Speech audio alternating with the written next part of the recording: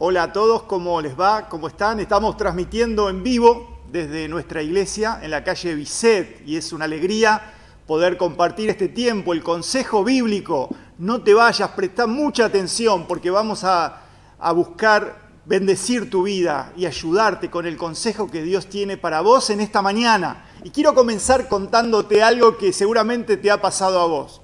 ¿Sabes que cuando era chico mi mamá se preocupaba mucho en llevarnos a que podamos aprender diferentes cosas. Entonces, en un momento me llevó a aprender inglés. Bueno, bastante tiempo y al final no, no aprendí mucho de inglés. Después también otro tiempo me, me llevó a, a, practicar folclore, ¿sí? a bailar folclore, eso fue algo bueno. Y en otro tiempo me llevó a aprender guitarra, ¿sí? a que pueda tocar la guitarra. Imagínate, ¿no? A tocar la guitarra. Y ahí estuve con un profesor mucho tiempo también y él me enseñaba a tocar la guitarra.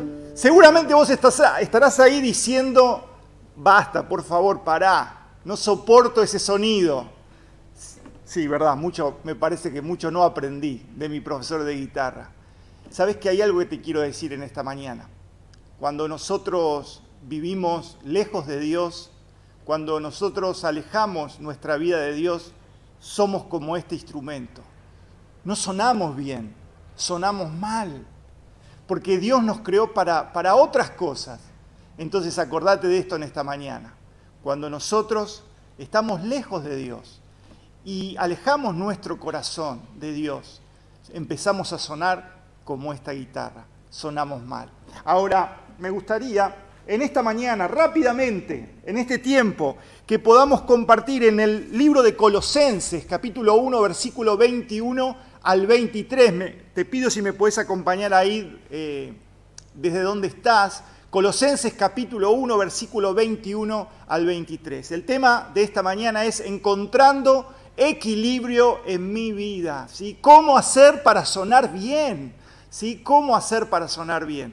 ¿Sabes qué es interesante? Es muy interesante que quien escribe esta carta, es una carta, la escribe Pablo, el apóstol Pablo. Él escribe, cuando escribe esta carta, él estaba en Roma, en la ciudad de Roma, y estaba, eh, lo interesante de, de, desde donde escribe es que él estaba preso y su prisión era una prisión domiciliaria. Entonces desde ahí él escribe esta carta y lo escribe a una iglesia que eh, estaba en Colosas. ¿sí? Más o menos aproximadamente a 2.000 kilómetros estaba esta, esta ciudad donde había una iglesia que conocemos hoy como la iglesia de los colosenses. ¿sí? Eso estaba más o menos, como les decía, a 2.000 kilómetros y sería hoy lo que es el país de Turquía.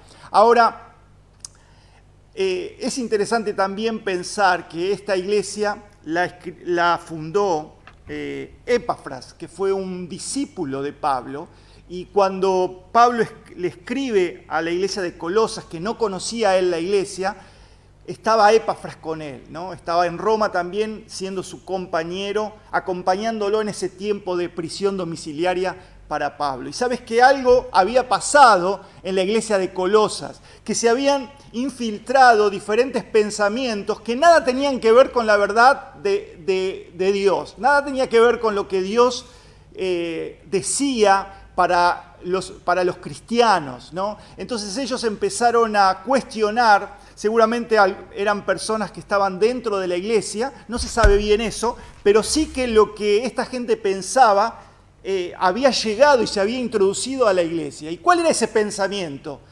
Que, que Cristo no era suficiente, ¿eh? que, que para estar bien con Dios, para llegar a Dios, para vivir la vida cristiana, hacía falta más que Jesús. Otras cosas, guardar rituales, algunas comidas y otras cosas más que ellos eran pensamientos que estaban dando vuelta y que se habían infiltrado en la iglesia de Colosas. Recordá, su fundador estaba a 2.000 kilómetros, Epafras, y estaba juntamente con Pablo. Ahora, ¿sabes que ellos decían que para estar bien con Dios y para vivir la vida cristiana, ellos tenían que hacer esfuerzos, diferentes esfuerzos, ¿no? Y no entendían que la verdad es que en Cristo estamos completos. Porque esa es la verdad de todo lo que Pablo le escribe en esta carta a la iglesia de Colosas. Ahora, lo que, lo que me llama la atención es evidente que, que, esta, esta, esta forma de pensar había avanzado sobre la iglesia. ¿Por qué? Porque quien la fundó no pudo solucionar ese problema.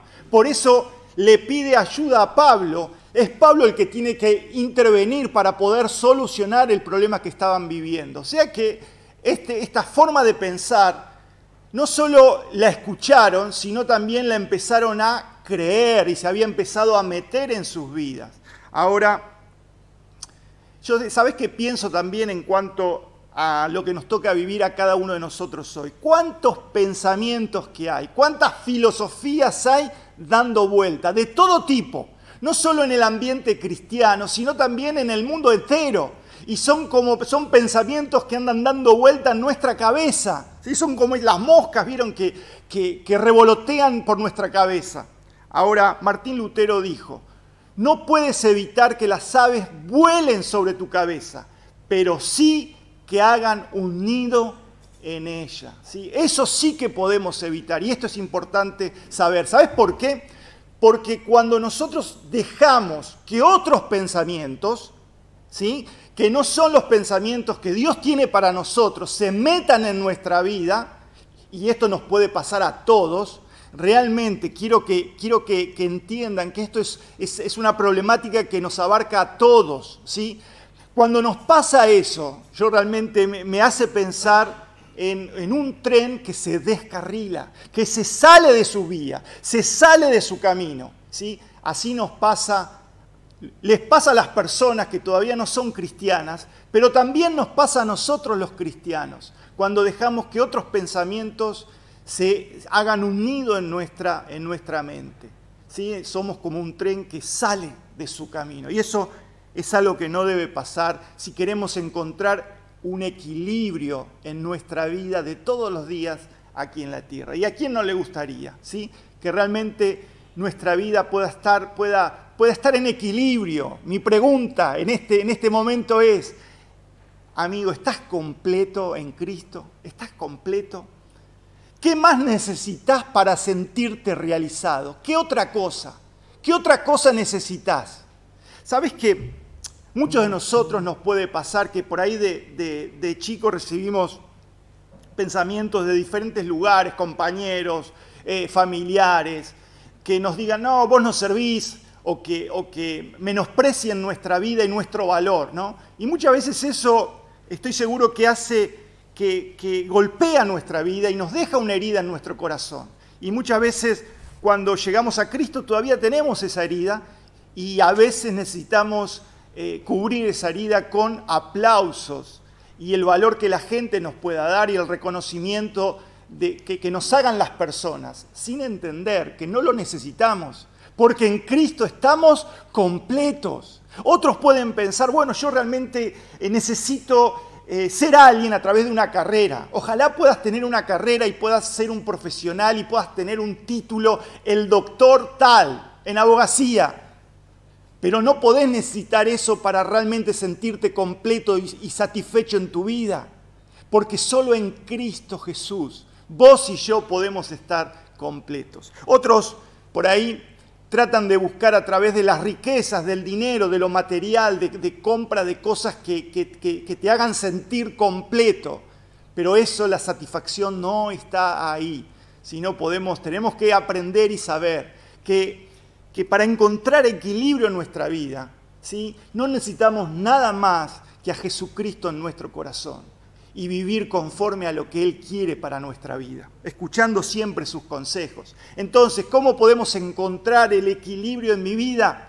Sabiendo que estamos completos cuando estamos en Él, cuando estamos en Cristo Jesús. Sabes que algo interesante, ¿no? La totalidad de Dios se encuentra en Cristo y estamos completos a estar en Él, no nos falta nada. Pero hay algo que pasa, hay algo que quiero quiero que sepas, sabes que hay algo que se llama pecado, ¿sí? que es lo que ofende a Dios, que es lo que va contra lo que Dios quiere para nosotros. El pecado es lo que rompe la armonía en nuestra vida. entonces en la medida de que yo cierre mis oídos, cierre mi corazón a Dios, voy a perder la armonía.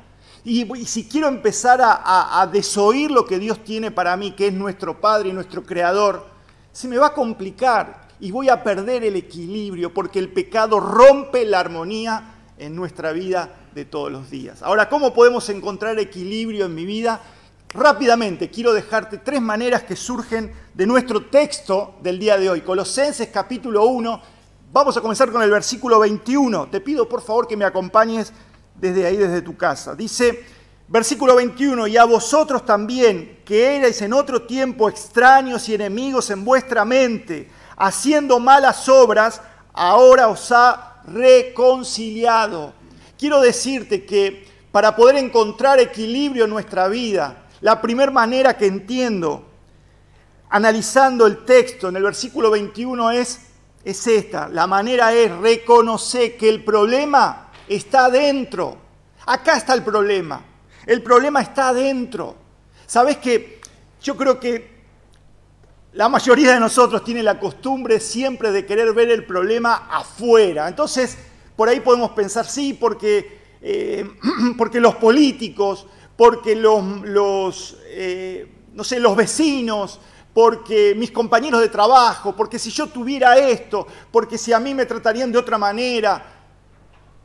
Y yo quiero decirte que para encontrar equilibrio en nuestra vida, lo más importante es reconocer que el problema está dentro no está afuera. Si buscamos afuera, no vamos a encontrar la solución y no vamos a encontrar la armonía que necesitamos para nuestra vida de todos los días. Entonces, en primer lugar, reconoce que el problema está adentro. Entonces dice ahí la palabra, dice extraños, porque dice, y, a vosotros también que eras en otro tiempo extraños. Esa palabra significa separados o aislados. Y Pablo la va a usar también en una carta que escribe a la iglesia en Éfeso, donde dice en Efesios capítulo 2, dice, en aquel tiempo estabais sin Cristo, alejados de la ciudadanía de Israel y ajenos a los pactos de la promesa, sin esperanza y sin Dios en el mundo.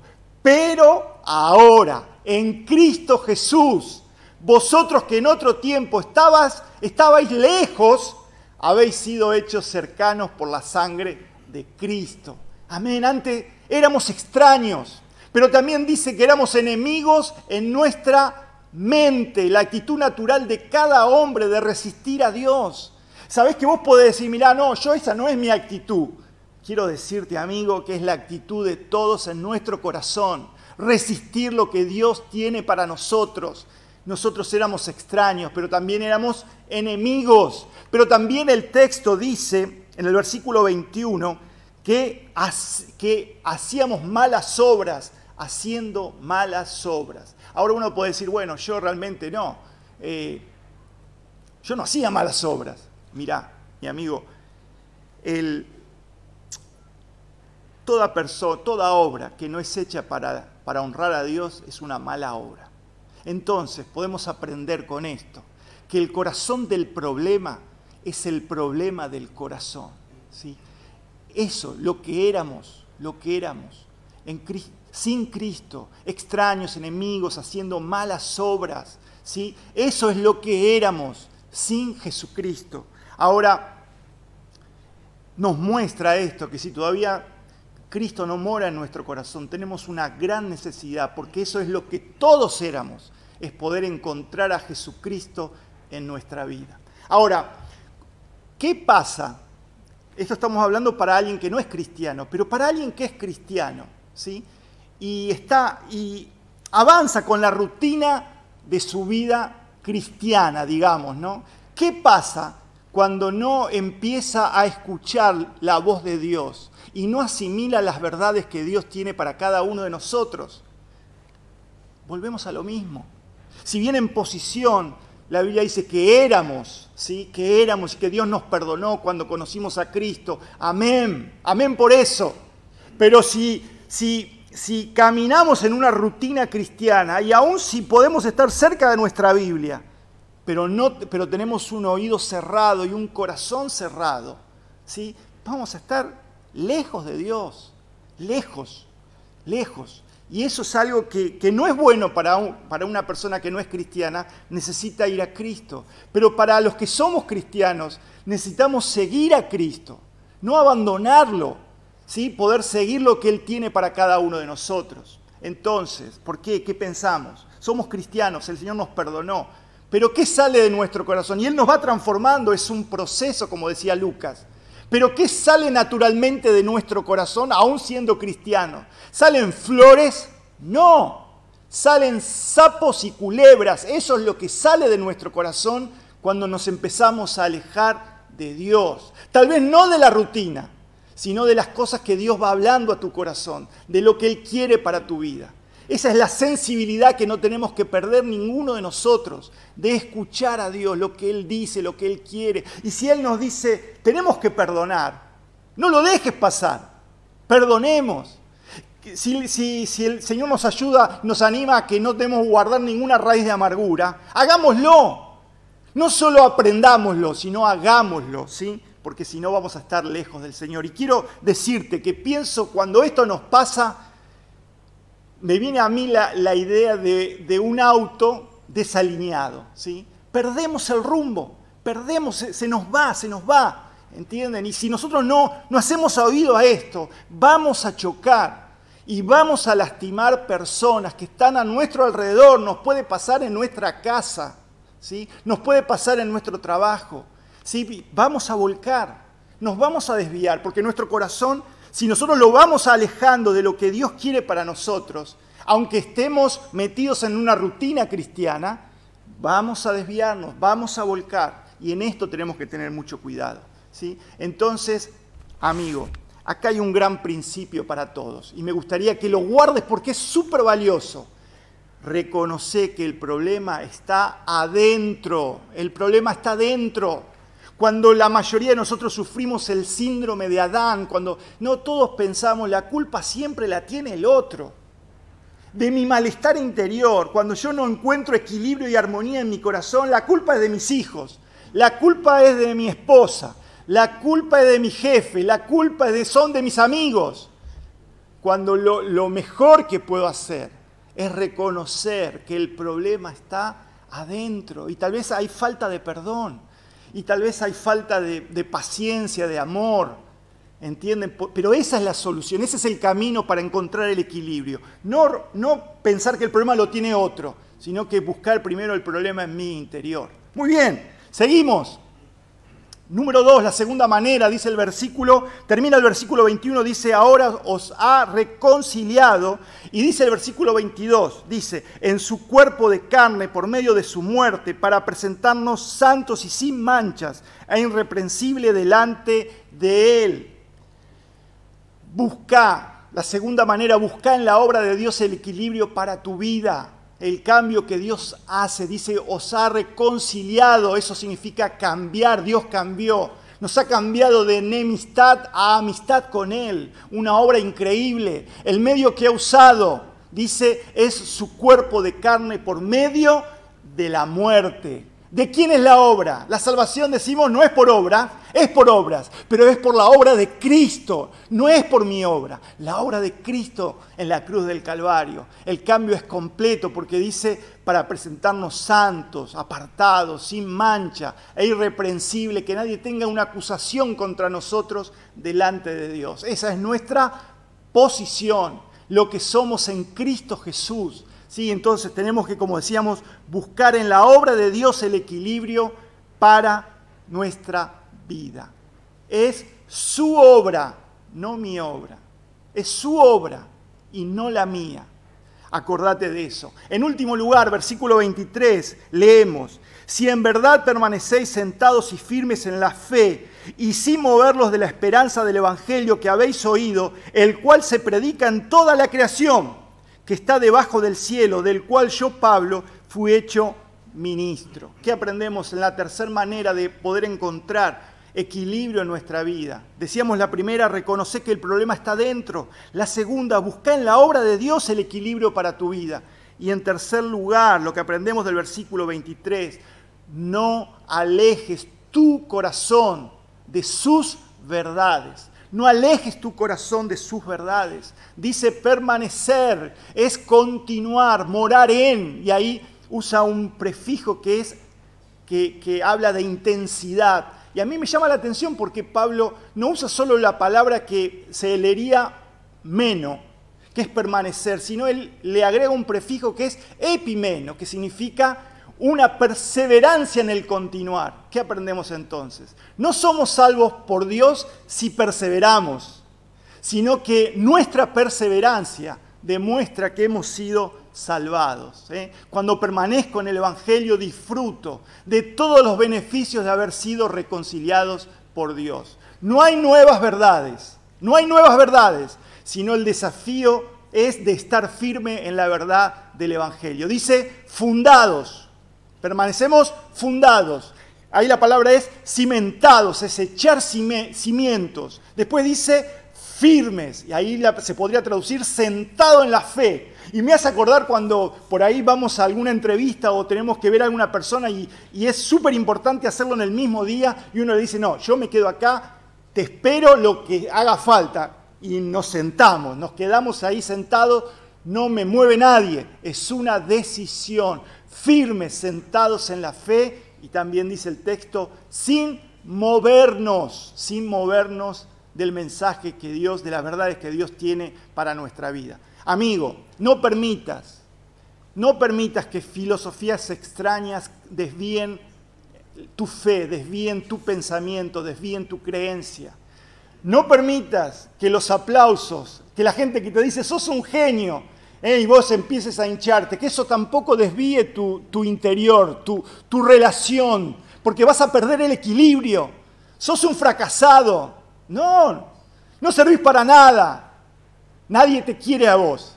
No, son palabras horribles, pero que no debemos dejar que penetren a nuestra mente y a nuestro corazón y que nos van a hacer eh, eh, perder la armonía y el equilibrio en nuestra vida de todos los días. No dejes pasar, amigo, ninguna verdad como si nada, como si esto no fuera como si no fuera importante. Todo lo que aprendemos de Dios es importante para asimilarlo y guardarlo en nuestro corazón. Voy terminando pensando en este versículo de Santiago cuando dice, pero ser hacedores de la palabra y no tan solamente oidores, engañándoos a vosotros mismos, ser hacedores de la palabra. Saben que me acuerdo en un tiempo cuando nos mudamos a Hurlingham, nosotros conseguimos, teníamos un bombeador, lo sacamos y pusimos un compresor. Ese compresor que trabajaba con aire, no sabíamos, pero ¿qué es lo que hacía? Es levantaba el sarro que, había en el pozo y lo llevaba al tanque de agua. Entonces, con el tiempo se nos taparon todas las cañerías, no había forma. Una vez tuve la posibilidad de, en un, en un espacio que, nos dejó el, constructor, el albañil, meter un caño para poder destapar. Estaba más o menos como a 5 metros del tanque. Entonces empecé, empecé, empecé ahí con el caño hasta que se destapó. ¿sí? hasta que se destapó.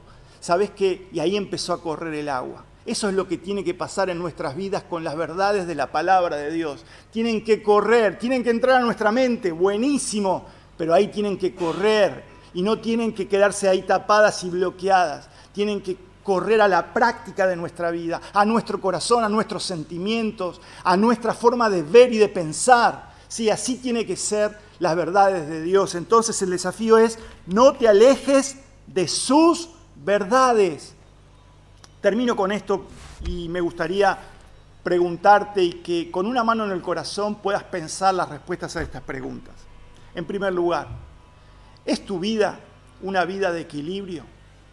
Si todavía no conoces a Cristo, necesitas conocer a Jesucristo, eso es la base de todo. Es imposible, es imposible tener equilibrio sin Jesucristo, porque Él lo es todo. Sos, tenés a Jesucristo en tu corazón, no te alejes de Él. ¿Hay equilibrio en tu vida? Si no hay equilibrio es porque hay algo, el pecado te hizo perder la armonía en algún punto. Y hay algo que no estás asimilando que Dios, de lo que Dios quiere para tu vida. Otra pregunta. Bueno, lo que decía, no hay armonía en tu interior. Y la última pregunta. ¿Cuál es el sonido que emite tu vida para las personas que se relacionan con vos? ¿Sí? Entonces, vamos a pensar para terminar. ¿Cómo tener una vida de equilibrio? Versículo 21, reconoce que el problema está adentro.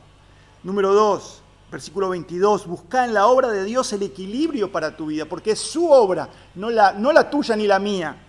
Y en tercer lugar, versículo 23, no te alejes de sus verdades.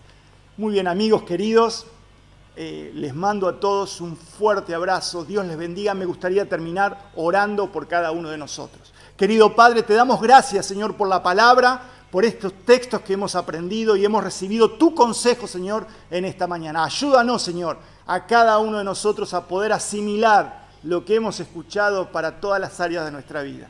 Te agradecemos, Señor, muchísimo. En el nombre de Jesús. Amén. Dios los bendiga.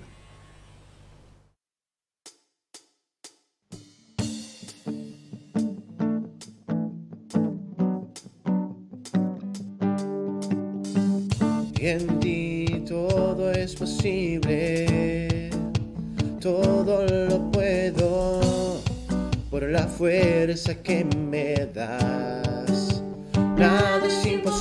Es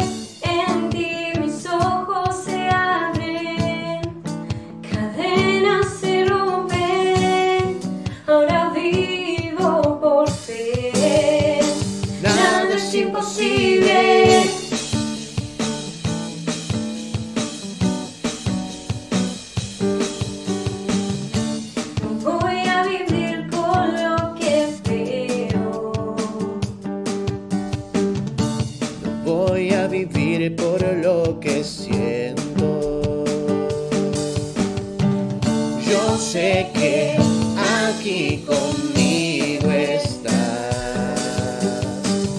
Yo sé que todo es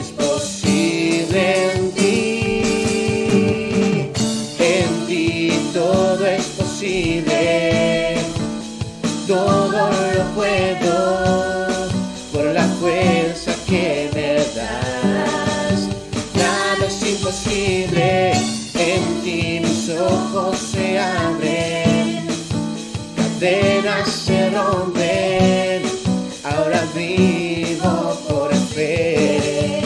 Nada es imposible, creo en ti, creo en ti. Creo en ti, creo en ti, Cristo.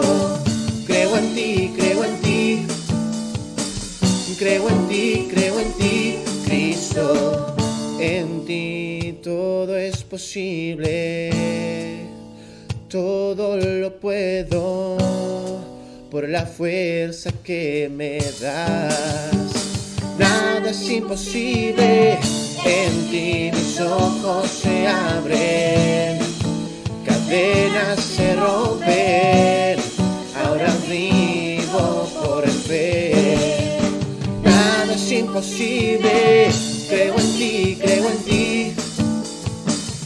Creo en ti, creo en ti, Cristo. Creo en ti, creo en ti. Creo en ti,